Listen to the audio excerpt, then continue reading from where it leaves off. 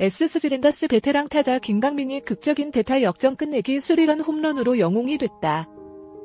7일 인천 SSG 랜더스 필드에서 열린 2022 한국 시리즈 5차전 키움과 SSG의 경기.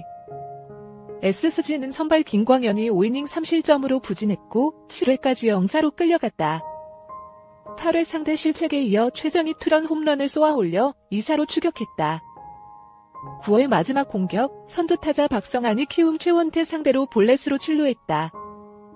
이어 최주환이 우측 펜스를 맞는 적시타로 1, 3루 찬스를 연결했다. SSG 벤치는 김강민을 대타로 기용했다. 김강민은 이볼에서 최원태의 삼구째 슬라이더를 끌어당겨 좌측 담장을 넘어가는 스리런 홈런을 쏘아 올렸다.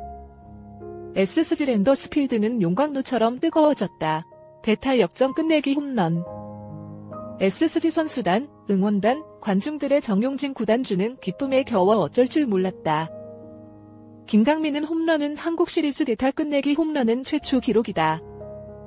또한 40세 1개월 25일의 나이로 역대 포스트 시즌 최고령 홈런 기록을 경신했다. 1차전 홈런에 이어 5차전 결승 홈런을 터뜨렸다.